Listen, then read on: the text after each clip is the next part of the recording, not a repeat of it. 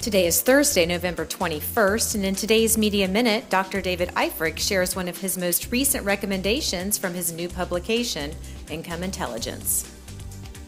Dave, I don't know which uh, which of the picks you'd like to give away to the listeners, but uh, I I love Gladstone Capital. If, if, you want to talk about that for a minute, I think it's a a fantastic way for an average common stock investor to get the same kind of returns that you would normally get as a private investment banker.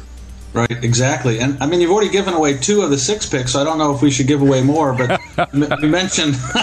Let's go with the Gladstone one, maybe then. Let's give all six of them. And hey, people, there's no reason to sign up for the letter.